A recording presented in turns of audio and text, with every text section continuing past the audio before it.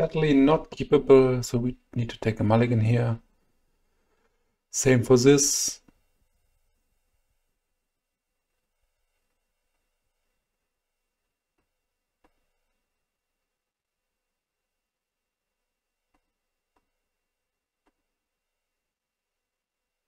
Okay, that's keepable, not great by any means, but I want to get rid of the red cards here. And let's hope for the best. Okay, Shan Port is sweet.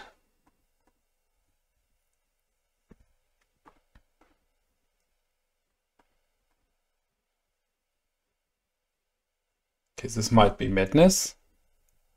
Yeah, madness. It's great that we have support, so we can port in upkeep. Okay, that's a bit late to the party. Um, I think I want to get the bird down here to have the ability to pay for days with the wood elves. And later the deranged hermit. And we are really relying on the hermit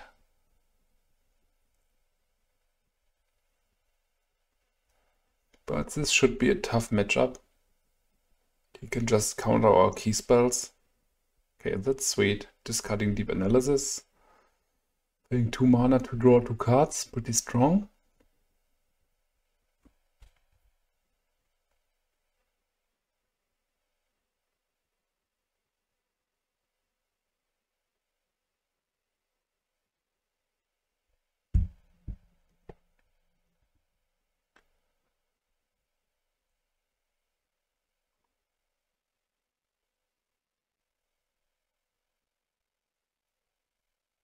Okay, Woodwaller cast it.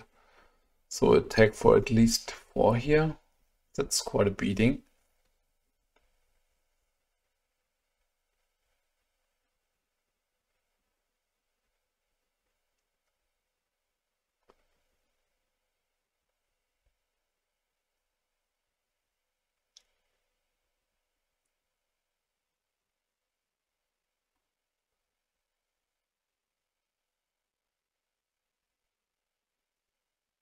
Okay, discarding Roar of the Wurm, so this attacks for 5. The good thing is we can port in one second. So we are not relying on him uh, not having a land drop. Hopefully this resolves. Cool thing is that the forest is untapped, so we can port and upkeep and Next turn we might bring the Hermit down. If he would have Wonder, that would be strong. I try to port the Yavimaya coast here, but he could easily have a Frantic Search or a, raw, uh, or a Arrogant Wurm. Yeah, if he has Frantic search, he needs to let the portability resolve first. Okay, Intuition. Probably for three more Deep Analysis. Or two and a Wonder. It's so cool that the um, survival lists are built so differently. Okay, I think it's best to put the Wonder into his hand yeah, that's pretty strong. We don't have many flyers. We could try the damage race. But this will be very problematic. So starting next turn, this will crash in for 3. So we got 3 more turns or 2 more turns. Depending on how hard he wants to pump this. It's a bit late to the party. Not sure here.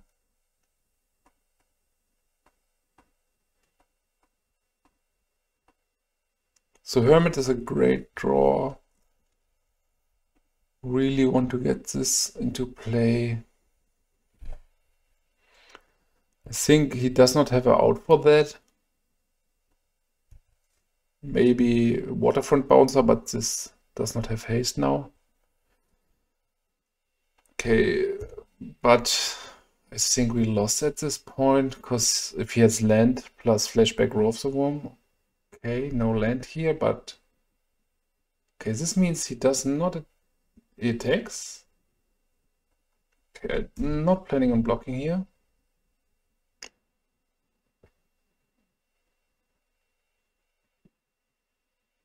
Okay, discarding a second wonder. So probably this was a top deck, otherwise he wouldn't search for a wonder.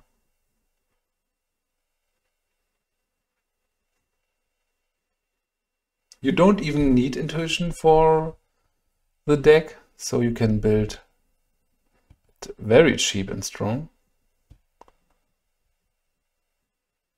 Okay, Acolyte is super bad. On Magic Online, it's tempting to build it with Survival of the Fittest, because I think it's like $1.50.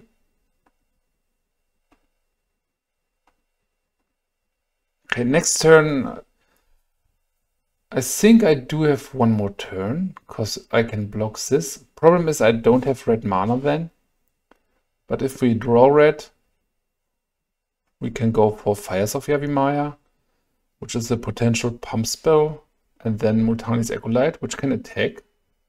So, depending on what's happening next,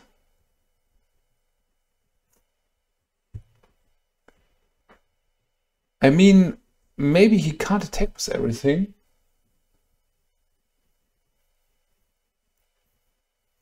Let's see.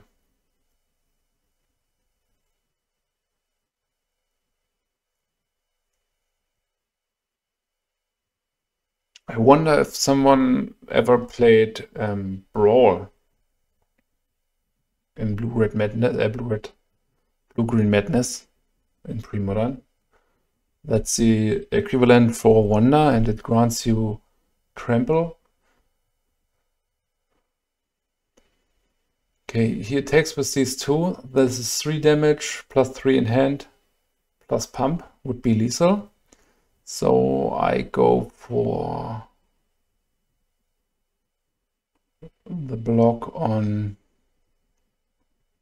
Wild Mongrel. So if he wants to get more damage in, he needs to pay 2 mana. Uh, this really hurts. I need a red mana source. Could even be in the sequence of drawing it with Multani's Acolyte. And he could have a card like circular logic, so I need to set a stop in my draw step. Because I might port after drawing to resolve. Okay, him playing this is great for us. Ah, we don't get red mana here. Let's try again with the Acolyte. Oh, I can't do that here. If we draw red, I think we win. Because we have the fires of Yavimaya. Come on, red mana. No. Yeah, with red, we could attack with everything. If we attack here, it goes to exactly two. If we got the fire, we would attack with everything. He could block this and would be dead to that. We don't even have to sacrifices. So for Mulligan 5, it was a pretty close game.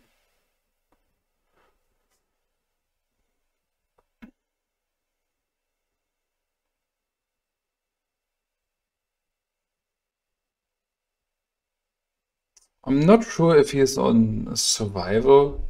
If we saw cards like Roar of the Wurm, Carpet of Flowers might be great. So the Pyroblast. Not sure about the Simoon. Don't think that's the right thing to do. So let's cut the Breach here, because we did not see any survival. This could backfire pretty quickly, but two cards to cut. Yeah, Wood Elves was not great. And Hermit is a bit expensive. Wall of Blossoms can take some damage. I tried like this, I guess. And not having any access to graveyard hate here is tough. So you can just flew over. If he has a wonder in graveyard, oh, such a bad hand again, but I try to keep this. Hopes that he does not have a wasteland and we draw another land. And we do have a redraw with Multani's Acolyte there. Yeah, we need to hope.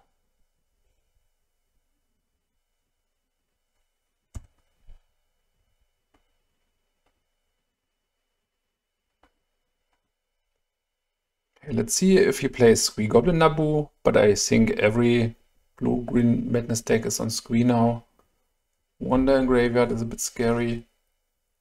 So our blocking plan is not great. If we draw land, ah, no land here. Really need a land now. Otherwise, it's over, I guess.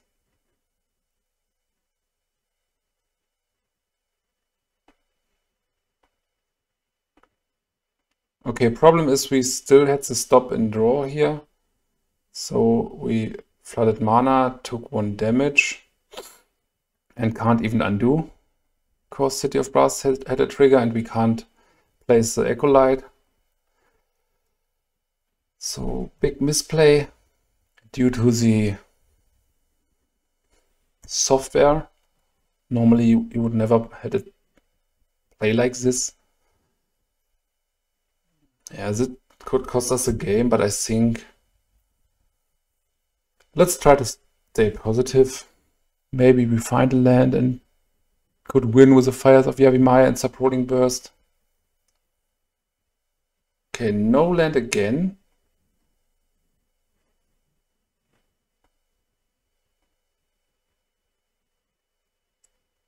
I don't understand magic online. I flooded to green and I want to cast Simultaneous Acolyte. Now it works. So we got a land here.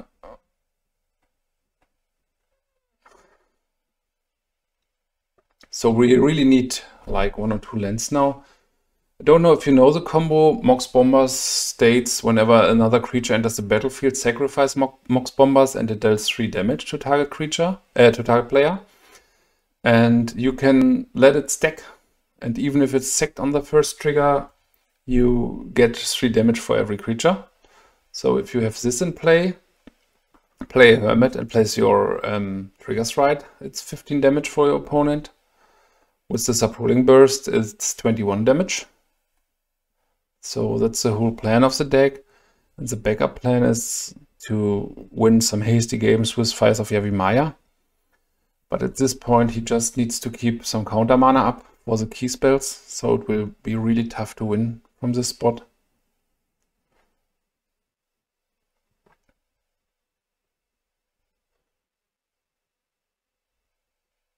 Okay, we can't pay for that. We need to draw land here. No land in this one, maybe here.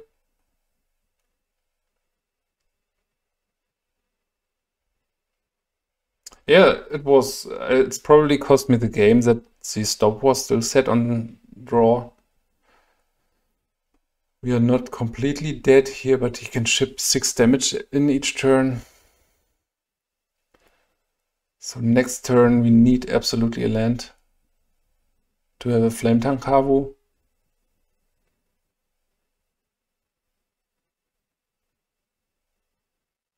But it's fine. I make exactly these videos to explore the decks and get some experience in. I mean, you don't often set a stop in your own draw step, but I needed it the game before if I wanted to Rishadan Port after draw. And this could have won, of, won us the game, but just keep in mind to set it back after or just watch closely And don't play at night for this test videos.